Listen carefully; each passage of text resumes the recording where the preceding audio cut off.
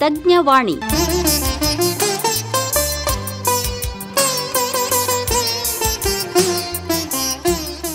ಆತ್ಮೀಯ ರೈತ ಬಾಂಧವರಿಗೆಲ್ಲ ನಮಸ್ಕಾರ. ಇವತ್ತು ನಮ್ಮ ತೋಟದಿಂದಲೇ ನಮ್ಮ ಊಟ ಅನ್ನುವ ಕುರಿತಾಗಿ ಮಾಹಿತಿಯನ್ನು ಹಂಚಿಕೊಳ್ಳುವುದಕ್ಕಾಗಿ ನಮ್ಮೊಡನಿದ್ದಾರೆ ತೋಟಗಾರಿಕಾ ಇಲಾಖೆಯಲ್ಲಿ ಅಧಿಕಾರಿಗಳಾಗಿ ನಿವೃತ್ತಿ ಹೊಂದಿರತಕ್ಕಂಥ ರಮೇಶ್ ಮಹೇಂದ್ರಕರ್ ಇಜೇರಿ ಅವರು. ಎಲ್ಲರಿಗೂ ಗೊತ್ತಿದೆ ಊಟದ ತಟ್ಟೆ ವಿಷ ಆಗ್ತಾ ಇದೆ ಅಂತ. ಇವತ್ತು ಕೀಟನಾಶಕಕ್ಕಾಗಿ ರಾಸಾಯನಿಕ ವಸ್ತುಗಳ ಬಳಕೆಯಿಂದ ನಾವು ತಿನ್ನುವಂಥ ಆಹಾರ ವಿಷಯುಕ್ತ ಆಗ್ತಾ ಇದೆ. ಊಟದ ತಟ್ಟೆ ವಿಷವಾಗ್ತಾ ಇರುವುದನ್ನು ನಾವು ಗಮನಿಸ್ತೇವೆ.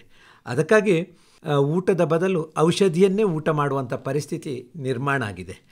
ಇವತ್ತು ನಮ್ಮ ತೋಟದಿಂದಲೇ ನಮ್ಮ ಊಟ. ಯಾಕೆ ಇದು ಆರೋಗ್ಯಪೂರ್ಣವಾಗಿರ್ತಕ್ಕಂಥ ಬದುಕನ್ನು ಸಾಗಿಸಲಿಕ್ಕೆ ಸಾಧ್ಯ ಇದೆ? ದೇಸಿ ಪದ್ಧತಿಯ ಊಟ, ತಿಂಡಿ ಇದರಿಂದ ನಮ್ಮ ಆರೋಗ್ಯವನ್ನು ಹೇಗೆ ಕಾಪಾಡಿಕೊಳ್ಬೋದು ಅನ್ನೋದರ ಬಗ್ಗೆ ಮಾಹಿತಿಯನ್ನು ಹಂಚಿಕೊಳ್ತಾ ಇದ್ದಾರೆ. ರಮೇಶ್ ಮಹೇಂದ್ರಕರ್ ಅವರೇ ನಿಮಗೆ ಕಾರ್ಯಕ್ರಮಕ್ಕೆ ಸ್ವಾಗತ ಮತ್ತು ನಮಸ್ಕಾರ. ನಮಸ್ಕಾರ. ಈಗ ಇತ್ತೀಚೆಗೆ ನಮ್ಮ ತೋಟದಿಂದಲೇ ನಮ್ಮ ಊಟ ಎನ್ನುವುದು ಕೇಳಿ ಬರ್ತಾ ಇದೆ. ಬಹಳಷ್ಟು ಜನ ಇದರ ಬಗ್ಗೆ ಹೆಚ್ಚಿನ ಒಲವನ್ನು ತೋರಿಸ್ತಾ ಇದ್ದಾರೆ ಮಹೇಂದ್ರಕರ್ ಯಾಕೆ ಏನು ಇದರ ಮಹತ್ವ ಅಂತ? ಈಗ ನಮ್ಮ ತೋಟದಿಂದಲೇ ನಮ್ಮ ಊಟ ಎನ್ನುವುದು ಒಂದು ತುಂಬಾ ಅಭಿಮಾನದ ಮಾತಾಗಿದೆ. ನಿಜ. ಯಾಕಂದ್ರೆ ನಮ್ಮತನ ಅಲ್ಲಿ ತುಂಬಿ ತುಳುಕ್ತಾ ಇದೆ. ನಮ್ಮತನ ಅಂದ್ರೆ ಎಷ್ಟು ಅಂದ್ರೆ ನಾವು ಮಾಡುವುದು ನಾವು ಊಟ ಮಾಡುವುದು ಕೂಡ ನಾವು. ಹೌದು. ಎರಡೂ ಇರುತ್ತೆ. ಇದರಲ್ಲಿ ಏನಾಗುತ್ತೆ ಅಂದ್ರೆ ನಾವು ನಮ್ಮಲ್ಲೇ ಬೆಳೆದಂತಹ ಬೆಳೆ ಇರೋದ್ರಿಂದ ನಮ್ಮ ನಿಗರಾಣಿಯಲ್ಲಿ ಬೆಳೀತಿದೆ. ಅದಕ್ಕೆ ಕೀಟನಾಶಕವಾಗಲಿ ರಾಸಾಯನಿಕ ಗೊಬ್ಬರವಾಗಲಿ ಯಾವುದೂ ಬಳಸಿರುವುದಿಲ್ಲ. ಸಾವಯವ ಪದ್ಧತಿಯಿಂದ ಆದಷ್ಟು ನಮ್ಮ ಮನೆಯಲ್ಲೇ ಬೆಳೆದಿರ್ತೀವಿ. ಅದು ನಮ್ಮ ನಿಗರಾಣಿಯಲ್ಲಿ ಇರ್ತದೆ ನಮಗೆ ತಾಜಾ ಕೂಡ ಸಿಗುತ್ತದೆ. ಈ ರೀತಿಯಾಗಿ ಈ ಒಂದು ನಮ್ಮ ತೋಟದಿಂದಲೇ ನಮ್ಮ ಊಟ ಎನ್ನುವ ಒಂದು ಮಾತು ಬಹಳಷ್ಟು ಪ್ರಚಲಿತವಾಗಿದೆ. ಇದರ ಮುಖ್ಯ ಕಾರಣ ಎಂದರೆ ಅಂತಾರಾಷ್ಟ್ರೀಯ ವರ್ಷ. ಈ ಎರಡು ಸಾವಿರ ಇಪ್ಪತ್ತೆರಡು ಕೂಡ ಎರಡು ಸಾವಿರ ಹದಿನಾರರಿಂದ ಇಪ್ಪತ್ತೈದರ ತನಕ ಪೋಷಕ ಕ್ರಿಯಾ ಯೋಜನೆ ಅವಧಿಯೊಳಗೆ ಇದು ಬರ್ತದೆ. ಅದಲ್ಲದೆ ಮತ್ತೆ ಈ ವಿಶ್ವಸಂಸ್ಥೆಯು ಇನ್ನೊಂದು ಏನು ಮಾಡಿದೆ ಅಂದರೆ ನಮ್ಮ ತೋಟದಿಂದಲೇ ಬೆಳೆದಂಥ ಬೆಳೆ ನಮ್ಮಲ್ಲೇ ಆಗಬೇಕು. ಕೌಟುಂಬಿಯ ಕೃಷಿ ಉತ್ತೇಜನ ಕೊಡಬೇಕಂತ ಹೇಳಿ ಎರಡು ಸಾವಿರ ಹತ್ತೊಂಬತ್ತರಿಂದ ಎರಡು ಸಾವಿರ ಇಪ್ಪತ್ತೆಂಟರ ಒಂದು ದಶಕವನ್ನು ಕೂಡ ಇದಕ್ಕೆ ಉತ್ತೇಜನ ಕೊಡ್ತಾ ಇದ್ದಾರೆ. ಆದ್ದರಿಂದಲೇ ಈಗ ನಮ್ಮ ತೋಟದಿಂದಲೇ ನಮ್ಮ ಊಟ ಎನ್ನುವುದು ಬಹಳಷ್ಟು ಜನಪ್ರಿಯವಾಗಿದೆ. ಇದನ್ನು ಹೆಚ್ಚಾಗಿ ನಾವು ಅಳವಡಿಸಿಕೊಳ್ಳಬೇಕಾಗಿದೆ. ಈಗ ರಮೇಶ್ ಮಹೇಂದ್ರಕರ್ ಅವರೇ ನೀವು ಹೇಳಿದ್ದು ಸತ್ಯ. ಯಾಕಂದರೆ ತೋಟಗಾರಿಕಾ ಒಂದು ಉತ್ಪನ್ನಗಳು ಬೆಳೆಗಳಿಗೆ ಹೆಚ್ಚಿನ ಪ್ರೋತ್ಸಾಹ ಸಿಕ್ಕಿದಂತೆ ಆಗ್ತದೆ ಮತ್ತು ದೇಸಿ ಊಟ ಮಾಡಲಿಕ್ಕೆ ಇದು ಅನುಕೂಲ ಆಗ್ತದೆ ಅಂತ. ಈಗ ನಮ್ಮ ತೋಟದಿಂದಲೇ ನಮ್ಮ ಊಟ ಎಂಬುದರ ಉದ್ದೇಶ ಏನು ಮುಖ್ಯವಾಗಿ? ಇದರ ಉದ್ದೇಶ ಇಷ್ಟೇ ಇದೆ. ಗ್ರಾಮೀಣ ಭಾಗದ ರೈತರಂತೂ ಅವರಲ್ಲಿ ಮನೆಯಲ್ಲಿ ಹಿತ್ತಲಲ್ಲಿ ಎಲ್ಲ ಏನಿದೆ ಆದಷ್ಟು ತಮ್ಮ ಮನೆ ಸಮೀಪ ಹಿತ್ತಲಲ್ಲಿ ಅಥವಾ ಹೊಲದಲ್ಲಿ ಇವೆಲ್ಲ ಕೃಷಿಯಿಂದ ಆದಷ್ಟು ತೋಟದ ಬೆಳೆಗಳನ್ನು ಹಣ್ಣು ತರಕಾರಿಗಳನ್ನು ಬೆಳೀತಾರೆ. ಅವರು ಅಂತೂ ಆದಷ್ಟು ಈ ಒಂದು ನಮ್ಮ ಊಟ ನಮ್ಮ ತೋಟ ಅವರಿಗೆ ಅಷ್ಟು ಇದು ಆಗೋದಿಲ್ಲ. ಈ ನಗರ ಭಾಗದಲ್ಲಿ ಏನು ಜನರಿರ್ತಾರೆ. ನಾಗರಿಕರು ಹೆಚ್ಚಾಗಿ ಈಗ ಜನ ಏನಿದೆ ಇವರೆಲ್ಲರೂ ಮತ್ತೊಬ್ಬರ ಮೇಲೆ ಅವಲಂಬಿತರಾಗಿರ್ತಾರೆ ಅವರವರ ತರಕಾರಿ ಹಣ್ಣುಗಳ ಸಲುವಾಗಿ. ಆದ್ದರಿಂದ ಅವರು ಆದಷ್ಟು ಅವರ ಮನೆಯಲ್ಲೇ ಸ್ವಲ್ಪ ಸ್ಥಳವಿರಲಿ ಸ್ಥಳ ಇಲ್ಲದಿರಲಿ ಕೂಡ ಅದೊಂದು ಮನಸ್ಸಿದ್ದರೆ ಸಣ್ಣ ಸಣ್ಣ ಕುಂಡಗಳಲ್ಲಿ ಡಬ್ಬಗಳಲ್ಲಿ ಕೂಡ ತಾವು ಬೆಳೆ ಬೆಳಿಬೋದು. ಈ ಕೊತ್ತಂಬರಿ ಇದೆ ಕರಿಬೇವು ಇದೆ ಇಂಥವೆಲ್ಲ ತಾವು ದಿನಾನು ಉಪಯೋಗ ಮಾಡುವಂಥದ್ದು ಕೂಡ ನಾವು ಸಾಕಷ್ಟು ಮನೆಗಳಲ್ಲಿ ನೋಡ್ತಾ ಇರ್ತೇವೆ. ಅವೆಲ್ಲ ಬೆಳೀತಾರೆ. ಇದೇ ರೀತಿಯಾಗಿ ಉಳಿದ ಬೆಳೆಗಳನ್ನು ಕೂಡ ತರಕಾರಿ ಆಗಲಿ ಹಣ್ಣಾಗಲಿ ಮೇಲ್ಛಾವಣಿಯಲ್ಲಿ ಅಥವಾ ಬಾಲ್ಕನಿಯಲ್ಲಿ ಇಲ್ಲೆಲ್ಲ ಬೆಳೆದ್ರಂದರೆ ಅದು ಎಷ್ಟು ಒಂದು ಸಮಂಜಸವಾಗ್ತದೆ ಮತ್ತು ಈ ನಮ್ಮ ತೋಟದಿಂದ ನಮ್ಮ ಊಟ ಎನ್ನುವ ಉದ್ದೇಶ ಕೂಡ ಪೂರ್ತಿಯಾಗುತ್ತದೆ. ಅಂದರೆ ನಾವೇ ಬೆಳೆಯೋದು ನಾವೇ ಊಟ ಮಾಡೋದು ಅಲ್ವಾ? ಈ ನಮ್ಮ ತೋಟದಿಂದಲೇ ಅಂತ ಹೇಳುವ ಪರಿಕಲ್ಪನೆ ಅಡಿಯಲ್ಲಿ ಏನೇನು ಸಿಗ್ತದೆ ಅಂತ? ನಮ್ಮ ತೋಟದಲ್ಲಿ ನಾವು ಏನು ಬೆಳಿತೀವಿ ಅದನ್ನು ನಾವು ಮಾಡ್ತೇವೆ. ಬೆಳೆ ಏನಂದರೆ what you sow that you reap ಅಂದಂಗೆ ಏನು ಬೆಳಿತೇವೆ ಅಡಿಗೆ ಮಾಡ್ಲಿಕ್ಕೆ ನಮಗೆ ಏನು ಬೇಕಾಗ್ತದೆ? ತರಕಾರಿ ಬೇಕು ಕಾಯಿಪಲ್ಯ ಬೇಕು ಟಮಾಟಿ ಇದೆ ಬದನೆ ಇದೆ ಮೆಣಸಿನಕಾಯಿ ಇದೆ ಇವೆಲ್ಲ ಕೂಡ ಬೆಳಿಬೋದು. ಇನ್ನು ನಿಂಬೆಕಾಯಿ ಇದೆ ಸ್ವಲ್ಪ ದೊಡ್ಡ ದೊಡ್ಡ ಗಾತ್ರದ ಕುಂಡಗಳನ್ನು ಉಪಯೋಗ ಮಾಡ್ಬೋದು ಅಥವಾ ನೆಲ ಇದ್ದರೆ ನೆಲದಲ್ಲಿ ಕೂಡ ಹಚ್ಬೋದು. ನಿಂಬೆಕಾಯಿ ಇದೆ ಕರಿಬೇವು ಇದೆ ಆಮೇಲೆ ಸೀಬೆ ಹಣ್ಣು ಇದೆ. ಇಂಥವೆಲ್ಲ ಸಣ್ಣ ಸಣ್ಣ ದಾಳಿಂಬರ ಹಣ್ಣಿದೆ ಇವೆಲ್ಲ ಹಣ್ಣುಗಳು ಕೂಡ ನಾವು ಮನೆ ತೋಟದಿಂದಲೇ ಪಡಿಬೋದು. ಹೀಗಾಗಿ ನಮಗೆ ಏನೇನು ಸಿಗೋದಿಲ್ಲ ಇಲ್ಲ ಏನು ಬೇಕಾದರೂ ಸಿಗುತ್ತದೆ ಆ ಮನಸ್ಸೊಂದಿರಬೇಕು. ನಾವು ಮಾಡುವ ಒಂದು ನಮ್ಮಲ್ಲಿ ಛಲವಿರಬೇಕು. ಅಲ್ವಾ? ಈಗ ನಾವೆಲ್ಲ ನಮ್ಮ ತೋಟ ನಮ್ಮ ಊಟ ಅಂತೆಲ್ಲ ಹೇಳ್ತೇವೆ. ಅದರ ಜೊತೆ ಜೊತೆಗೇ ಒಂದು ಪರಿಕಲ್ಪನೆ ಇದೆ. ನಮ್ಮ ಹಳ್ಳಿಗಳಲ್ಲಿ ಇನ್ನೂ ಕೂಡ ಇದೆ. ಕೈ ತೋಟ ಕೈ ತೋಟ ಅಂತೇವೆ ಹಾಗೆಂದ್ರೆ ಏನು? ಕೈ ತೋಟ ಅಥವಾ ಮನೆ ತೋಟ ಅನ್ಬೋದು ಇದಕ್ಕೆ ಮನೆಗೆ ಹೊಂದಿಕೊಂಡಿರೋದ್ರಿಂದ ಮನೆ ತೋಟ ಅಂತಾರೆ. ಆಮೇಲೆ ಇದು ಕೈಯಿಂದ ಮಾಡುವಂಥ ತೋಟ. ಇಲ್ಲಿ ಹೆಚ್ಚು ಯಾವುದು ಎತ್ತು ಆಗಲಿ ಮಷಿನರಿ ಆಗಲಿ ಇಲ್ಲಿ ಉಪಯೋಗ ಆಗೋದಿಲ್ಲ. ಕೈಲಿಂದ ಉಪಯೋಗ ಮಾಡಬೇಕಂತ ಸಲಕರಣೆಗಳು ಉಪಕರಣಗಳಿಂದ ಅಷ್ಟೇ ಈ ತೋಟ ಮಾಡುವುದರಿಂದ ಕೈತೋಟ ಅಂತ ಹೇಳಿ ಇದು ಜನಪ್ರಿಯವಾಯಿತು.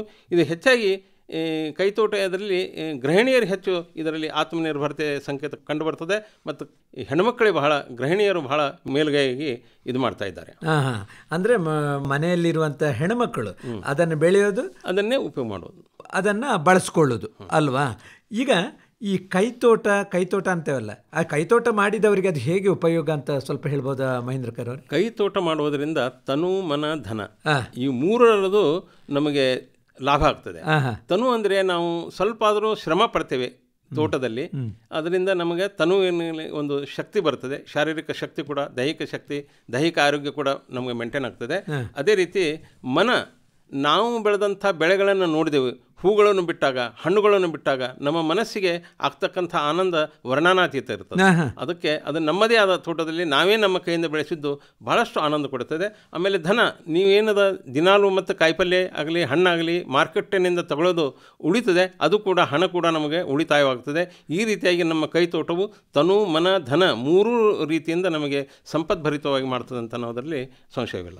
ಈಗ ರಮೇಶ್ ಮಹೇಂದ್ರಕರ್ ಅವರೇ ಕೈತೋಟ ಮಾಡಿದವರಿಗೆ ಸಾಕಷ್ಟು ಪ್ರಯೋಜನ ಇದೆ ಲಾಭ ಇದೆ ಅಂತ ಹೇಳ್ತಾರೆ. ಅಂದರೆ ಅದರ ಮಹತ್ವದ ಬಗ್ಗೆ ಒಂದಷ್ಟು ಮಾಹಿತಿಯನ್ನು ಕೊಡಿ. ಈ ಕೈತೋಟದಲ್ಲಿ ಬೆಳೆಯಲು ಅದರಲ್ಲಿ ಹೆಚ್ಚಿಗೆ ಅಂದರೆ ಸಣ್ಣ ಚಿಕ್ಕ ಮಕ್ಕಳನ್ನು ನಾವು ಅಳವಡಿಸ್ಕೊಳ್ಬೇಕು.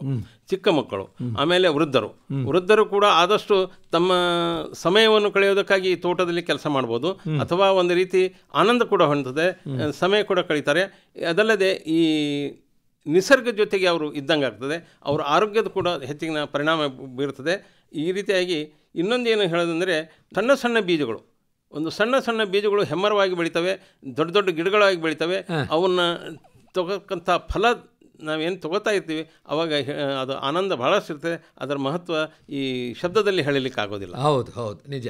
ಮತ್ತೊಂದು ಕೈತೋಟ ಮಾಡಿದವರಿಗೆ ಒಂದು ಧನ್ಯತೆಯ ಭಾವನೂ ಕೂಡ ಇರ್ತದೆ. ಯಾಕೆಂದರೆ ಪ್ರಕೃತಿಯೊಟ್ಟಿಗೆ ಸಂಬಂಧವನ್ನು ಇಟ್ಟುಕೊಂಡ ಹಾಗೆ ಅಲ್ವಾ? ಹೌದು.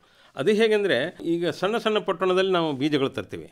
ಸಪೋಸ್ ಈಗ ತಗೊಳ್ಳಿ ಮೆಣಸಿನಕಾಯಿ ಇದೆ ಟಮಾಟ ಇದೆ ಈ ಬೀಜಗಳನ್ನು ನಾವು ಸಣ್ಣ ಸಣ್ಣ ಪಟ್ಟಣದಲ್ಲಿ ತರ್ತೀವಿ. ಸಣ್ಣ ಕಾ ಗಾತ್ರದಲ್ಲಿರ್ತವೆ. ಅವನ್ನು ನಾವು ನೆಲದಲ್ಲಿ ಹಾಕಿ ಬೆಳೆದ ನಂತರ ಅವು ನಮ್ಮೆದುರೇ ಬೆಳಿತವೆ. ಹೌದು. ಈ ನಮ್ಮ ಸಣ್ಣ ಚಿಕ್ಕ ಮಕ್ಕಳು ನಮ್ಮೆದುರು ಹುಟ್ಟಿರ್ತವೆ ನಮ್ಮೆದುರು ಬೆಳಿತವೆ ನಮ್ಮೆದುರೇ ದೊಡ್ಡವರಾಗ್ತಾರೆ ನಮ್ಮೆದುರೇ ನೌಕರಿ ಮಾಡ್ತಾರೆ ನಮ್ಮೆದುರೇ ಲಗ್ನ ಆಗ್ತಾರೆ ಅದ್ರದ್ದು ಆನಂದ ಹೇಗಿರ್ತದೆ? ಅದೇ ರೀತಿ ಕೂಡ ನಾವು ಸಸ್ಯಗಳನ್ನು ಕೂಡ ಇದೇ ರೀತಿಯಾಗಿ ನಾವು ನೋಡ್ತಾ ಇರ್ತೀವಿ. ಸಣ್ಣ ಮೊಳಕೆ ಇರ್ತದೆ ಆಮೇಲೆ ಸ್ವಲ್ಪ ಗಿಡ ಆಗ್ತದೆ ಆಮೇಲೆ ಹೂವು ಬಿಡ್ಲಿಕ್ಕೆ ಬರ್ತದೆ ಆಮೇಲೆ ಹಣ್ಣು ಕೊಡ್ತದೆ. ಈ ರೀತಿಯಾಗಿ ಒಂದು ಹಂತ ಹಂತವಾಗಿ ನಾವು ಏನು ಬೆಳಿತಿರ್ತೀವಿ ಅದರದ್ದು ಹಂತ ಹಂತವಾಗಿ ನಾವು ಆನಂದ ಕೂಡ ಪಡಿತಾ ಇರ್ತೀವಿ. ಈ ರೀತಿಯಾಗಿ ನಮಗೇನಿದೆ ಇದನ್ನು ನಮಗೆ ನೋಡುವುದರಿಂದ ನಾವು ಧನ್ಯರಂತ ಹೇಳ್ಬೋದು. ಅದು ಶ್ರಮ ಮಾಡಿದರಂತೂ ಮತ್ತಿಷ್ಟು ಹೆಚ್ಚಿನ ಧನ್ಯತೆ ಬರ್ತದೆ. ಈಗ ನೀವೆಲ್ಲ ತೋಟಗಾರಿಕಾ ಇಲಾಖೆಯಲ್ಲಿ ಅಧಿಕಾರಿಗಳಾಗಿ ನಿವೃತ್ತಿ ಹೊಂದಿದವರು. ಈಗ ನಮ್ಮ ತೋಟ ನಮ್ಮ ಊಟ ಅಂತೆಲ್ಲ ಹೇಳ್ತೇವೆ. ಆದರೆ ಆ ಒಂದು ಪರಿಕಲ್ಪನೆಯನ್ನು ನಮ್ಮದನ್ನಾಗಿಸ್ಕೊಳ್ಬೇಕು ಅಥವಾ ನಮ್ಮ ಒಂದು ಜೀವನದ ಭಾಗವಾಗಿ ಅದನ್ನು ಅಳವಡಿಸಿಕೊಂಡು ಆರೋಗ್ಯಪೂರ್ಣವಾದ ಬದುಕನ್ನು ಮಾಡಬೇಕಲ್ಲ ಅದಕ್ಕೆ ಏನು ಮಾಡಬೇಕು ಅಂತ? ನಾವು ತೋಟ ಮಾಡಬೇಕಂತೇಳಿ ಕೈ ತೋಟ ಮಾಡ್ಬೇಕಂತೇಳಿ ಮನಸ್ಸು ಮಾಡಿದೆವು ಅಂದರೆ ಅದರಿಂದ ಏನಾಗ್ತದೆ ಅಂದರೆ ತಾನಾಗಿ ತಾನು ಒಂದು ಮನಸ್ಸಿದ್ರೆ ಮಾರ್ಗ ಅಂಥೇಳಿ ದಾರಿ ತೋರಿಸ್ತದೆ. ಅಥವಾ ಯಾರಾದರೂ ತೋಟ ಮಾಡಿದವರು ಇದ್ದರೆ ಅವ್ರ ಹತ್ರ ಹೋಗ್ತೀವಿ ಅವ್ರ ಹತ್ರ ಒಂದಷ್ಟು ಏನಾದರೂ ಸಲಹೆ ಸೂಚನೆ ತಗೋತೀವಿ ಯಾವ ರೀತಿ ಮಾಡಬೇಕು ಏನು ಮಾಡಬೇಕು. ಯಾಕಂದರೆ ನಮಗೆ ಸುಮ್ ಕೂಡುವುದಿಲ್ಲ. ಒಮ್ಮೆ ತಲೆಯಲ್ಲಿ ಅದು ಗೀಳು ಬಂತಂದರೆ ಅದು ಎಲ್ಲಾದರೂ ಹೋಗಿ ಏನಾದರೂ ಹಾದಿ ಹುಡುಕ್ಲಿಕ್ಕೆ ಶುರು ಆಗ್ತದೆ. ಈ ರೀತಿ ಹೋದ ನಂತರ ಅದಕ್ಕೆ ನಮಗೆ ಸ್ವಲ್ಪ ತಕ್ಕ ಮಟ್ಟಿಗೆ ಅವರು ನಮಗೆ ಮಾರ್ಗದರ್ಶನ ಮಾಡಿದರೆ ಸ್ವಲ್ಪ ಸ್ಟಾರ್ಟಿಂಗ್ ಸಂಕಲ್ಪ ಸಣ್ಣದಿರಲಿ ಅದರಿಂದ ನಾವು ಪ್ರಾರಂಭ ಮಾಡ್ತೀವಿ. ಆಮೇಲೆ ಬರ್ತಾ ಬರ್ತಾ ನಮ್ಮ ಅನುಭವವೇ ನಮಗೆ ಕೆಲಸ ಕೊಡ್ತದೆ. ಅದರಿಂದ ನಾವೇನಿದೆ ಈ ತೋಟದ ಗೀಳು ಒಮ್ಮೆ ಇದಕ್ಕೆ ಹತ್ತಿತಂದರೆ ಮನುಷ್ಯ ಏನಿದೆ ಒಂದು ಅಡಿಕ್ಟ್ ಆಗಿಬಿಡ್ತಾನೆ. ತೋಟದ ಕೂಡ ಅಡಿಕ್ಟ್ ಆಗೋದು ಬಹಳ ಮಹತ್ವದಿದೆ ಹೌದು ಅದಕ್ಕೆ ಹೊಂದಿಕೊಂಡು ಜೀವನವನ್ನು ಮಾಡ್ತಾನೆ ಅಂತ. ಈಗ ಬಹಳ ಮುಖ್ಯವಾಗಿ ನಾವು ಗಮನಿಸಬೇಕಾದ್ದು ಹೌದು ಇಷ್ಟೆಲ್ಲ ಲಾಭ ಇದೆ ಮಾಡಬಹುದು ಎಲ್ಲ ಹೇಳ್ತೇವೆ. ಆದರೆ ತೋಟಗಾರಿಕೆಯ ಬಗ್ಗೆ ಈ ರೀತಿ ಮಾಹಿತಿ ಎಲ್ಲಿಂದ ಪಡೆಯುವುದು ತೋಟಗಾರಿಕೆ ಮಾಹಿತಿ ತೋಟಗಾರಿಕೆ ಇಲಾಖೆ ಕೊಂಡು ಪಡಿಬೋದು. ಪುಸ್ತಕ ಮತ್ತು ಪತ್ರಿಕೆಗಳಿಂದ ಕೂಡ ಸ್ವಲ್ಪ ಪಡಿಬೋದು. ಆದರೆ ಅದು ಪರಿಪೂರ್ಣ ಆಗೋದಿಲ್ಲ. ತೋಟಗಾರಿಕೆ ಇಲಾಖೆದವರು ಕೂಡ ಹೇಳ್ತಾರೆ ಆದರೆ ಯಾರು ಅನುಭವಿಸ್ತಿರ್ತಾರೆ ತೋಟ ಯಾರು ಮಾಡಿರ್ತಾರೆ ಅವ್ರ ಹತ್ರ ಹೋಗಿ ಸ್ವಲ್ಪ ಹೆಚ್ಚಿನ ಸಮಯವನ್ನು ಕಳೆದು ಅವರು ಯಾವ ರೀತಿ ಮಾಡ್ತಾರೆ ಏನು ಮಾಡ್ತಾರೆ ಅದನ್ನೆಲ್ಲ ತಿಳ್ಕೊಂಡು ನಮ್ಮಲ್ಲಿ ಏನಾದರೂ ಶ ಸಂಶಯಾಸ್ಪದ ಪ್ರಶ್ನೆಗಳೇನಿದ್ದರೆ ಅದನ್ನು ಪರಿಹಾರ ಮಾಡಿಕೊಂಡು ನಾವು ಮುಂದುವರಿಯೋದು ಬಹಳ ಅಗತ್ಯ ನೀವೆಲ್ಲ ತೋಟಗಾರಿಕೆ ಇಲಾಖೆಯಲ್ಲಿ ಕೆಲಸ ಮಾಡಿದವರು. ಈ ಕೈತೋಟ ಮಾಡೋದಕ್ಕೆ ಏನೇನು ಮಾಡಬೇಕಾಗ್ತದೆ ಅಂತ? ಕೈತೋಟ ಮಾಡಬೇಕಾದ್ರೆ ಮಾನಸಿಕವಾಗಿ ನಾವು ನಿಶ್ಚಯ ತಗೋಬೇಕು. ನಿರ್ಧಾರ ನಿರ್ಧಾರ ಮಾಡಬೇಕು. ಕೈತೋಟ ಮಾಡಬೇಕಾಗಿದೆ. ಆಮೇಲೆ ಶಾರೀರಿಕ ಕೂಡ ಸ್ವಲ್ಪ ನಾವು ಸಶಕ್ತರಾಗಿರಬೇಕು. ಆಮೇಲೆ ಇಲ್ಲಾಂದರೆ ನಾವು ಮತ್ತೊಬ್ಬರ ಮೇಲೆ ಅವಲಂಬನವಾಗಬೇಕಾಗ್ತದೆ. ಆಮೇಲೆ ಸ್ಥಳ. ಅದಕ್ಕೆ ಏನು ಬೇಕಾಗ್ತದೆ? ಕೈತೋಟ ಮಾಡಲಿಕ್ಕೆ ಸ್ಥಳ ಎಷ್ಟಿದೆ? ನಮ್ಮ ಕೆಪಾಸಿಟಿ ನಮ್ಮ ಯೋಗ್ಯತೆಗೆ ತಕ್ಕಂತೆ ನಮ್ಮ ಕ್ಷಮತೆಗೆ ತಕ್ಕಂತೆ ಎಷ್ಟು ಸಾಧ್ಯದ? ಅಷ್ಟು ಮೊದಲು ಸಣ್ಣ ಪ್ರಮಾಣದಲ್ಲಿ ಪ್ರಾರಂಭ ಮಾಡಬೇಕು. ಆಮೇಲೆ ಹೆಚ್ಚಿನ ಹೆಚ್ಚಿನ ಬರ್ತಾ ಬರ್ತಾ ಆಮೇಲೆ ಜಾಗನೇ ಇಲ್ಲ ನಮ್ಮಲ್ಲಿ. ನೆಲದಲ್ಲಿ ಇಲ್ಲ ನಾವು ಅಪಾರ್ಟ್ಮೆಂಟ್ ಮೇಲೆ ಇರ್ತೀವಿ. ಅಂದರೆ ತೊಟ್ಟಿಗಳು ಕುಂಡಗಳಲ್ಲಿ ಕೂಡ ನೀವು ಈ ಬೆಳೆಯನ್ನು ಬೆಳಿಬೋದು. ಈ ರೀತಿಯಾಗಿ ಏನಿದೆ ತೋಟ ಮಾಡೋಕ್ಕೆ ಕೆಲವು ಸಲಕರಣೆ ಬೇಕಾಗ್ತದೆ. ಆಮೇಲೆ ಬೀಜ ಸಸಿಗಳು ಇವೆಲ್ಲ ನೀವು ನರ್ಸರಿನಿಂದ ಪಡಿಬೋದು ತೋಟಗಾರಿಕೆ ಇಲಾಖೆಯಿಂದ ಕೂಡ ಪಡಿಬೋದು. ಹಾಂ ಹಾಂ ಈಗ ಭಾಳ ಮುಖ್ಯವಾಗಿ ನಾವು ಗಮನಿಸಬೇಕಾಗಿರೋದು ಮಹೇಂದ್ರಕರ್ ಅವರೇ. ಎಲ್ಲ ಬೆಳೆಗಳಿಗೂ ತೋಟಗಾರಿಕಾ ಬೆಳೆ ಇರಲಿ, ಯಾವುದೇ ಇರಲಿ, ಅದಕ್ಕೆ ಒಂದು ಸೂಕ್ತವಾದ ಕಾಲಮಾನ ಅಥವಾ ಋತುಮಾನ ಅಂತ ಹೇಳ್ತೇವೆ. ಹಾಗೆ ನಮ್ಮ ಕೈತೋಟ ಮಾಡಲು ಒಂದು ಆ ರೀತಿಯ ಋತುಮಾನ, ಕಾಲ ಅಂತ ಏನಾದರೂ ಇದೆ? ಕೈತೋಟ ಮಾಡಲಿಕ್ಕೆ ಹೆಚ್ಚಾಗಿ ಈಗ ನಾವು ಕೃಷಿಗೆ ಒಳ್ಳೆಯ ಒಂದು ಸೂಕ್ತ ಕಾಲ ಅಂದರೆ ಮಳೆಗಾಲ. ಹೌದು ಹೌದು ಬೇಸಿಗೆ ಕಾಲದಲ್ಲಿ ನಾವು ಅದರ ತಯಾರಿ ಮಾಡ್ಕೋಬೇಕಾಗ್ತದೆ. ಮಳೆಗಾಲದಲ್ಲಿ ನಾವು ಪ್ರಾರಂಭ ಮಾಡಬೇಕು. ಕೃಷಿ ಮಾಡೋದಾಗ ಬೀಜ ಹಾಕೋದಾಗಲಿ ಬಿತ್ತೋದಾಗಲಿ ಸಸಿ ಹಚ್ಚೋದಾಗಲಿ ಯಾಕಂದರೆ ಆವಾಗ ವಾತಾವರಣ ಕೂಡ ತಂಪಿರ್ತದೆ. ಹವಾಮಾನ ಕೂಡ ಸಸಿಗಳಿಗೆ ಗಿಡಗಳಿಗೆ ಅನುಕೂಲವಾಗಿರ್ತದೆ. ಈ ರೀತಿಯಾಗಿ ಏನಿದೆ ನಾವು ಮಳೆಗಾಲದಲ್ಲಿ ಹೆಚ್ಚಿನ ಬೆಳೆಗಳನ್ನು ಬೆಳೆದ ನಂತರ ಚಳಿಗಾಲ ಏನು ಪ್ರಾರಂಭ ಆಗ್ತದೆ ಅವಾಗ ನಮ್ಮ ಅದರ ಬೆಳೆ ಬರ್ತದೆ. ಹೂವಾಗಲಿ ಕಾಯಿ ಆಗಲಿ ಹಣ್ಣಾಗಲಿ ಹೆಚ್ಚಿನ ಹೆಚ್ಚು ಅಂದರೆ ನೂರು ದಿವಸದಲ್ಲಿ ನಮ್ಮ ಬೆಳೆ ಬರಲಿಕ್ಕೆ ಪ್ರಾರಂಭ ಆಗ್ತದೆ. ಈ ನೂರು ದಿವಸದಲ್ಲಿ ಒಂದು ಮೂರು ತಿಂಗಳು ಕಳೆದಂಗೆ ಆಗ್ತದೆ. ಒಂದು ಋತುವಿನಿಂದ ಮತ್ತೊಂದು ಋತುವಿಗೆ ಹೋಗ್ತೀವಿ ಮತ್ತೊಂದು ಕಾಲಕ್ಕೆ ಹೋಗ್ತೀವಿ ನಾವು ಮಳೆಗಾಲದಿಂದ ಚಳಿಗಾಲಕ್ಕೆ ಹೋಗ್ತೀವಿ. ಚಳಿಗಾಲದಿಂದ ಮತ್ತೆ ಅದೇ ಮಳೆಗಾಲದಲ್ಲಿ ಏನು ಬೆಳೆ ಬೆಳಿತೀವಿ ಅದು ಕೂಡ ಬೇಸಿಗೆಯಲ್ಲಿ ನಾವು ಬೆಳಿಬೋದು. ಅದಕ್ಕೇನಿದೆ ತಕ್ಕದಾದಂಥ ನೀರು ಮತ್ತು ಸ್ವಲ್ಪ ವಾತಾವರಣ ಕಲ್ಪಿಸಿ ಕೊಡಬೇಕಾಗ್ತದೆ. ಈಗ ಕೈತೋಟದಲ್ಲಿ ಏನೇನು ಬೆಳಿಬೋದು ಮಹೇಂದ್ರಕರ್ ಕೈತೋಟದಲ್ಲಿ ನಾವು ನೋಡಿ ನಮ್ಮ ಬೇಕಾಗ್ತಕ್ಕಂಥ ತರಕಾರಿಗಳು. ನಾವು ದಿನಾಲಿ ಏನು ಉಪಯೋಗ ಮಾಡ್ತೀವಿ? ಟೊಮಾಟೊ ಇದೆ ಬದನೆ ಇದೆ ಮೆಣಸಿನಕಾಯಿ ಇದೆ ಕೊತ್ತಂಬರಿ ಇದೆ ಆಮೇಲೆ ಪಲ್ಯದಲ್ಲಿ ಮೆಂತೆ ಇದೆ ರಾಜಗಿರಿ ಇದೆ ಪಾಲಕ್ ಇದೆ ಎಲೆಕೋಸು ಇದೆ ಶುಂಠಿ ಇದೆ ಉಳ್ಳಾಗಡ್ಡಿ ಇದೆ. ಇವೇನು ಕುಂಬಳ ಹಾಗಲ್ಲ, ಅವರೇ ಇಂಥ ಬಳ್ಳಿ ಕೊಡೋಕೆ ನಾವು ಹಾಕ್ಬೋದು. ಒಂದೊಂದು ಬಳ್ಳಿ ಒಂದೊಂದು ಎರಡು ಬೀಜ ಹಾಕಿಬಿಟ್ರಂದರೆ ನಿಮಗೆ ಕನಿಷ್ಠ ಏನಿಲ್ಲ ಅಂದರೆ ಎರಡುನೂರು, ಮುನ್ನೂರು ತನಕ ಕಾಯಿಗಳು ಬಿಡ್ತವೆ. ಮತ್ತು ಹೂವು ಕೂಡ ಚೆಂಡು ಇದೆ, ಸವ ಸೇವಂತಿಗೆ ಇದೆ ಡೇರೆ ಹೂವು ಇದೆ, ರಾಖಿ ಹೂವು ಇದೆ, ಗುಲಾಬು, ಕನಕಾಂಬರ, ಮಲ್ಲಿಗೆ ಇಂಥವೆಲ್ಲ ಹೂವುಗಳು ಕೂಡ ಬೆಳೀತವೆ. ಈ ರೀತಿಯಾಗಿ ಸಾಕಷ್ಟು ಇವು ನಾವು ಎಲ್ಲ ಏನು ಬೆಳಿತೀವಿ? ತಾಜಾ ಮತ್ತು ಶುದ್ಧವಾಗಿರ್ತವೆ ಬಹಳಷ್ಟು ಸರಿಯಾಗಿರ್ತದೆ ಅದಲ್ಲದೆ ಹಣ್ಣುಗಳಲ್ಲಿ ಕೂಡ ಪಪಾಯ ಇದೆ ಸೀಬೆ ಇದೆ ದಾಳಿಂಬರಿ ಇದೆ ಇವು ಕೂಡ ನಾವು ಮಾವು ಇದೆ ಅಂಜೀರಿದೆ ಇವೆಲ್ಲ ಕೂಡ ಹಣ್ಣು ಕೂಡ ಕೂಡ ಸ್ಥಳ ಇದ್ರೆ ನೆಲದಲ್ಲಿ ಹಾಕಿದ್ರೆ ಅವು ಕೂಡ ಬರ್ತವೆ. ಈಗ ಕೈತೋಟದಲ್ಲಿ ಏನಾದರೂ ಪ್ರಕಾರಗಳಂತ ಇವೆನಾ? ಹೇಗೆ ಅಂತ? ಹಾಂ ಕೈತೋಟದಲ್ಲಿ ಕೆಲವು ಪ್ರಕಾರಗಳೆಂದರೆ ನಾವು ಮಾಡುವಂಥ ಒಂದು ಕಾರ್ಯವಾಗಿ ಮತ್ತು ಸ್ಥಳ ಈ ರೀತಿಯಾಗಿ ಅದನ್ನು ವಿಂಗಡಿಸ್ಬೋದು ಕೈತೋಟಗಳಲ್ಲಿ ಬೆಳೆ ಮತ್ತು ಸ್ಥಳ, ಆಶ್ರಯ ಹಾಗೂ ಮಾಧ್ಯಮಗಳ ಮೇಲೆ ವಿಂಗಡಿಸ್ಬೋದು ಇದನ್ನು ಹೇಗೆ ಅಂದರೆ ಕೈತೋಟಗಳ ಬೆಳೆಗಳ ಪ್ರಕಾರ ತರಕಾರಿ ತೋಟ, ತರಕಾರಿ ಬೆಳೆಯೋದು ಹೂಗಳು ಬೆಳೀತಾ ಇದ್ದರೆ ಹೂಗಳ ತೋಟ ಅಂತಾರೆ. ಹಣ್ಣುಗಳು ಬೆಳೀತಾ ಇದ್ದರೆ ಹಣ್ಣುಗಳ ತೋಟ ಅಂತಾರೆ.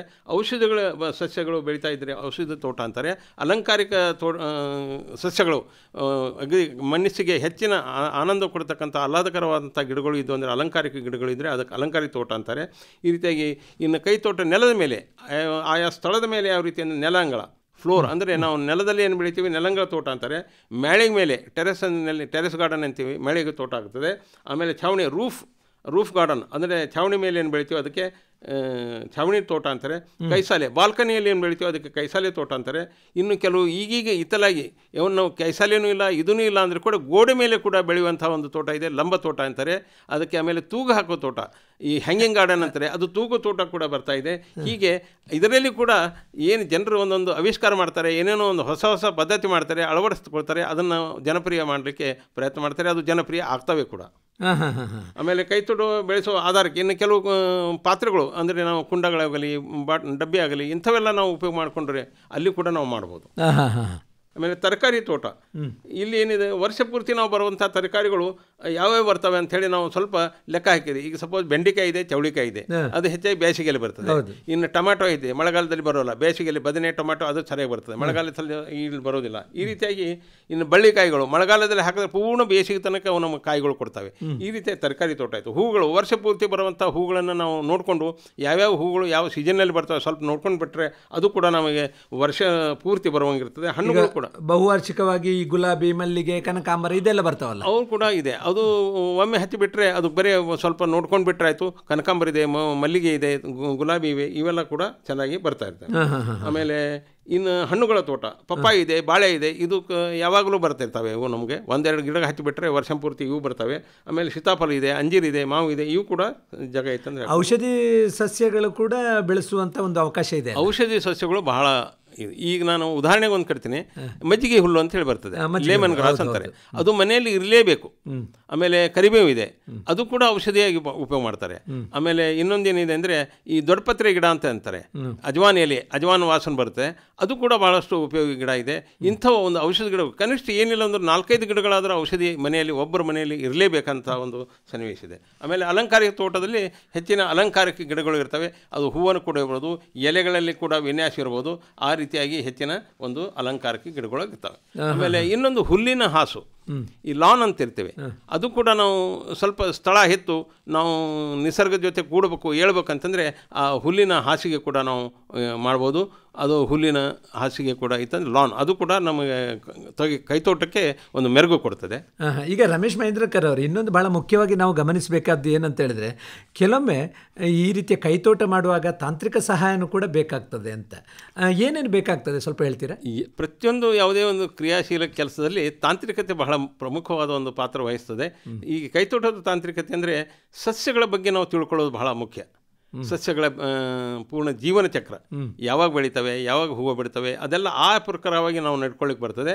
ಆಮೇಲೆ ಅವಕ್ಕೆ ಯಾವುದು ಸ್ಥಳ ಅನುಕೂಲ ಇದೆ ಯಾವುದು ಹವಾಮಾನ ಅನುಕೂಲ ಇದೆ ಇವೆಲ್ಲ ತಾಂತ್ರಿಕತೆಯಲ್ಲಿ ಬರ್ತದೆ. ಆಮೇಲೆ ಅದಕ್ಕೆ ನಮಗೆ ಮಾಡ್ತಕ್ಕಂಥ ಒಂದು ಕೈತೋಟ ಯಾವ ರೀತಿ ಮಾಡಬೇಕಾದ್ರೆ ಒಂದು ಯೋಜನೆ ಪ್ರಯೋಜನೆಗಳು ಯೋಜನೆ ಮಾಡಬೇಕು ವಿನ್ಯಾಸ ಮಾಡಬೇಕು ಎಲ್ಲಿ ಏನು ಹಾಕಬೇಕು. ಯಾಕಂದರೆ ನೆರಳಲ್ಲಿ ಬೆಳೆಯೋದಿಲ್ಲ ಬಿಸಿಲಲ್ಲಿ ಕೆಲವು ಬರೋಂಗಿಲ್ಲ ಕೆಲವು ನೆರಳು ಬೇಕಾಗ್ತದೆ. ನೆರಳು ಅಂದರೆ ಬಿಸಿಲು ಮಿಶ್ರಿತ ನೆರಳು ಬೇಕಾಗ್ತದೆ. ಒಂದು ಕೆಲವು ಪೂರ್ಣ ಇಡೀ ದಿವಸ ನಮ್ಗೆ ಬಿಸಿಲು ಬೇಕಾಗ್ತದೆ ಇಂಥವೆಲ್ಲ ಅದ್ರದ್ದು ಜೀವನ ಚಕ್ರ, ಅದ್ರದ್ದು ಸಸ್ಯದ ಬಗ್ಗೆ ಪೂರ್ಣ ತಿಳುವಳಿಕೆ ತಿಳ್ಕೊಂಡಂದರೆ ನಾವು ಈ ಕೈತೋಟ ಮಾಡಿ ಸಸ್ಯಗಳನ್ನು ಬೆಳೆದು ಅದರಲ್ಲಿ ನಾವು ಸಫಲರಾಗೋದ್ರಲ್ಲಿ ಏನು ತಪ್ಪಿಲ್ಲ. ಈಗ ಯಾವುದೇ ಒಂದು ಕೃಷಿಯಾಗಲಿ ಅಥವಾ ತೋಟಗಾರಿಕೆಯಲ್ಲಿ ಇರುವಂಥ ಬೇರೆ ಬೇರೆ ಬೆಳೆಗಳನ್ನು ಬೆಳೆದಾಗ ನಾವು ಕೊನೆಗೆ ಕೇಳೋದು ಅದರಿಂದ ಆಗುವ ಲಾಭ ಏನು ಅಂತ. ಲಾಭ ಇಲ್ಲದೆ ಇವತ್ತು ವ್ಯವಹಾರ ಇಲ್ಲ, ಯಾವುದು ಜ, ಜಗತ್ತೇ ನಡೆಯುವುದಿಲ್ಲ. ಈಗ ಈ ರೀತಿಯಾಗಿ ಮಾಡುವುದರಿಂದ ನಮಗೆ ಏನೇನು ಲಾಭಗಳಾಗ್ತವೆ ಅನ್ನೋದನ್ನು ಸ್ವಲ್ಪ ಹೇಳ್ತೀರಾ?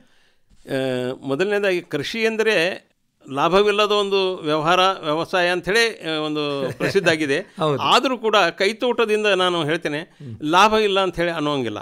ಕೈತೋಟದಿಂದ ಏನಿಲ್ಲ ಅಂದರೂ ಕೂಡ ನಾವು ಸಣ್ಣ ಒಂದೊಂದು ಕ ಒಂದು ಕೈತೋಟದೇ ಪ್ರಮಾಣ ತೊಗೊಂಡೇವು ಅಂದರೆ ನಮಗೆ ಅಟ್ಲೀಸ್ಟ್ ತಾಜಾ ಒಂದು ಹಣ್ಣು ಸಿಗ್ತದೆ ಪರಿಶ್ರಮ ಕೊಡ್ತದೆ. ಇದೇ ರೀತಿ ತೋಟಗಾರಿಕೆಯಲ್ಲಿ ಕೂಡ ನಾವು ಏನಿದೆ? ಸಾವಯವ ಬೆಳೆಯೋದ್ರಿಂದ ರಾಸಾಯನಿಕ ಮುಕ್ತವಾದಂಥ, ವಿಷಕಾರಿ ಇಲ್ಲದಂಥ ನಾವು ಒಂದು ಬೆಳೆಗಳನ್ನು ಪಡಿಬೋದು. ಹಣ್ಣಾಗಲಿ, ಹೂವಾಗಲಿ, ಮತ್ತು ಈ ಗಿಡಗಳು ಬೆಳೆಯೋದರಿಂದ ಶುದ್ಧ ಗಾಳಿ ಸಿಗ್ತದೆ. ಮತ್ತು ಇದಲ್ಲದೆ ಏನಾದ? ಸುತ್ತಮುತ್ತಲಿನ ನಮ್ಮ ಪರಿಸರವೂ ಕೂಡ ಪ್ರದೂಷಣ ರಹಿತವಾಗಿರ್ತದೆ ಮತ್ತು ಗಿಡ ಗಂಟೆ ಇರುವುದರಿಂದ, ದೊಡ್ಡ ದೊಡ್ಡ ಗಿಡಗಳು, ಮಾವಿನ ಗಿಡ, ಇವೆಲ್ಲ ಸೀಬೆ ಗಿಡ ಇರೋದರಿಂದ ಗಿಳಿ ಪಕ್ಷಿಗಳು ಇವೆಲ್ಲ ಕೂಡ ಇರ್ತವೆ. ಮತ್ತು ಸಂಪನ್ಮೂಲಗಳಂತ ನೆಲ, ಮಣ್ಣು, ನೀರು ಕೂಡ ಹೆಚ್ಚಿನ ಒಂದು ತ್ಯಾಜ್ಯ ವಸ್ತುಗಳು ಇದಕ್ಕಿಂತ ನಾವು ಅದನ್ನು ಬಳಸಿ ನಾವು ಮಣ್ಣನ್ನು ಕೂಡ ನಾವು ಫಲವತ್ತತೆ ಮಾಡ್ಬೋದು.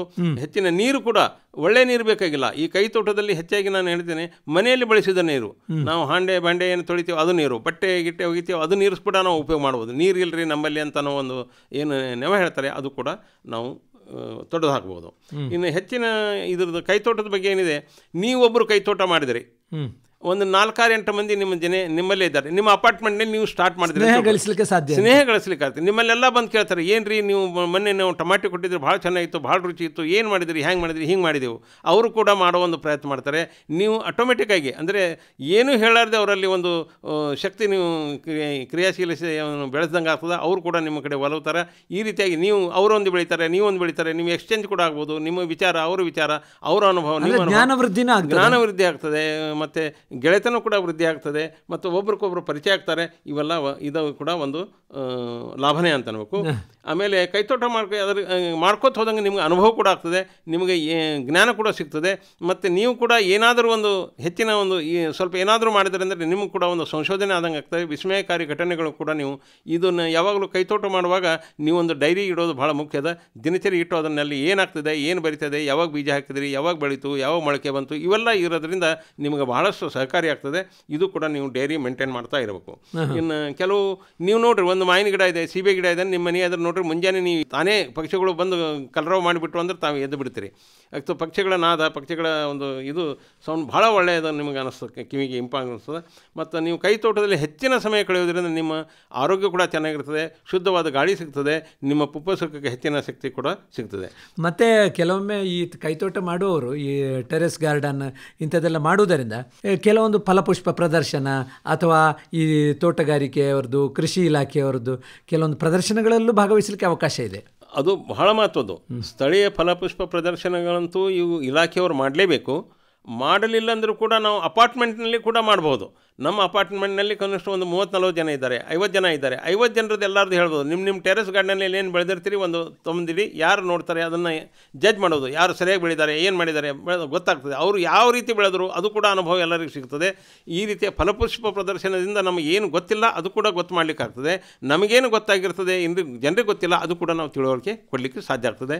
ನೋಡೋದರಿಂದ ಭಾಳಷ್ಟು ಇದಾಗ್ತದೆ. ಅಂದರೆ ನೀವು ಹೇಳೋ ಪ್ರಕಾರ ನಮ್ಮ ತೋಟದಲ್ಲಿ ನಮ್ಮ ಊಟ ಮಾಡುವುದರಿಂದ ನಮ್ಮ ಆರೋಗ್ಯವು ವೃದ್ಧಿ ಆಗ್ತದೆ. ಮತ್ತು ನಮಗೆ ಒಂದು ಮಾನಸಿಕ ನೆಮ್ಮದಿನೂ ಕೂಡ ಸಿಗ್ತದೆ. ಸಾಮಾಜಿಕವಾಗಿ ನಮಗೆ ಒಂದು ಗೌರವವನ್ನು ಸಿಗ್ತದೆ. ಅಲ್ವಾ? ಈ ಫಲಪುಷ್ಪ ಪ್ರದರ್ಶನದಲ್ಲಿ ನಾವು ಭಾಗಿಯಾದೀವಿ. ನಮಗೆ ಒಳ್ಳೆ ಪ್ರೈಸ್ ಸಿಕ್ತು. ಪ್ರಶಸ್ತಿ ಸಿಕ್ತಂದರೆ ನಾವು ಪ್ರಶಂಸೆಗೆ ಪಾತ್ರರಾಗ್ತೀವಿ. ನಾವು ನಮ್ಮನ್ನು ಎಲ್ಲರೂ ಕೇಳಲಿಕ್ಕೆ ಶುರು ಮಾಡ್ತಾರೆ. ಏನು ರೀ ಏನು ರೀ ಏನು ರೀ ಈ ರೀತಿಯಾಗಿ ಜನಪ್ರಿಯವಾಗಲಿಕ್ಕೆ ಒಂದು ಮಾರ್ಗ ಕೂಡ ಇದೆ. ಇಂಥ ಒಂದು ಕೈತೋಟ ನಮ್ಮಲ್ಲಿ ಇಲ್ಲದಿದ್ದರೆ ನಾವು ಹಿಂದೆ ಕೈತೋಟ ಮಾಡೋಣ ಅಂಥೇಳಿ ಒಂದು ಪ್ರತಿಜ್ಞೆ ಮಾಡಿಕೊಳ್ಳೋಣ ಮತ್ತು ಕೈತೋಟದಿಂದ ಆಗುವಂತಹ ಲಾಭಗಳನ್ನು ನಾವು ಪಡೆಯೋಣ. ಹೌದು ನಿಜ. ಬಹಳ ಒಳ್ಳೆಯ ಮಾತನ್ನು ಹೇಳಿದ್ರಿ ರಮೇಶ್ ಮಹೇಂದ್ರಕರ್ ಅವರೇ. ಮುಖ್ಯವಾಗಿ ಇತ್ತೀಚಿನ ದಿನಗಳಲ್ಲಿ ದೇಸಿ ಆಹಾರದ ಬಗ್ಗೆ ಕೈತೋಟದ ಬಗ್ಗೆ ಕೈತುತ್ತಿನ ಬಗ್ಗೆ ಈ ರೀತಿ ಸಾವಯವ ಕೃಷಿಯ ಬಗ್ಗೆ ಹೆಚ್ಚಿನ ಒಲವು ವ್ಯಕ್ತ ಆಗ್ತಾ ಇರೋದರಿಂದ ನಮ್ಮ ತೋಟದಿಂದಲೇ ನಮ್ಮ ಊಟ ಮಾಡುವುದರಿಂದ ನಾವು ಆರೋಗ್ಯಪೂರ್ಣವಾದಂಥ ಬದುಕನ್ನು ಮಾಡ್ಬೋದು ಒಂದು ಆತ್ಮನಿರ್ಭರತೆಯ ಬಾಳನ್ನು ಮಾಡಬಹುದು ಅನ್ನೋದರ ಬಗ್ಗೆ ಇಷ್ಟು ಹೊತ್ತಿನ ತನಕ ವಿವರವಾದಂಥ ಮಾಹಿತಿಯನ್ನು ತಾವು ಮಾಡಿಕೊಟ್ಟಿದ್ದೀರಿ. ಕೊನೆಯದಾಗಿ ನಿಮ್ಮನ್ನು ಸಂಪರ್ಕ ಮಾಡಬೇಕಾದ್ರೆ ನಿಮ್ಮ ದೂರವಾಣಿ ಸಂಖ್ಯೆಯನ್ನು ಹೇಳ್ಬೋದಾ? ನನ್ನ ದೂರವಾಣಿ ಸಂಖ್ಯೆ nine double four eight two double eight zero four nine. ನಾನೊಮ್ಮೆ ಹೇಳ್ತೇನೆ ಒಂಬತ್ತು ನಾಲ್ಕು ನಾಲ್ಕು ಎಂಟು ಎರಡು ಎಂಟು ಎಂಟು ಸೊನ್ನೆ ನಾಲ್ಕು ಒಂಬತ್ತು. ಈ ಸಂಖ್ಯೆಗೆ ಕರೆ ಮಾಡಿದರೆ ರಮೇಶ್ ಮಹೇಂದ್ರಕರ್ ಇಜೇರಿ ಅವರು ಈ ತೋಟಗಾರಿಕೆ ಬೆಳೆ ಬಗ್ಗೆ ಇನ್ನಷ್ಟು ಮಾಹಿತಿಯನ್ನು ನಿಮ್ಮೊಂದಿಗೆ ಹಂಚಿಕೊಳ್ಬೋದು ಇಷ್ಟು ಹೊತ್ತಿನ ತನಕ ಮಾತಾಡಿದ್ರಿ. ನಿಮಗೆ ನಮ್ಮ ಕೇಳುಗರ ಪರವಾಗಿ ಹೃತ್ಪೂರ್ವಕ ವಂದನೆಗಳು. ಧನ್ಯವಾದ. ನಮಗೆ ಈ ಅವಕಾಶ ಕೊಟ್ಟದಕ್ಕಾಗಿ ಆಕಾಶವಾಣಿಯವರಿಗೂ ಕೂಡ ನಾನು ಧನ್ಯವಾದಗಳು.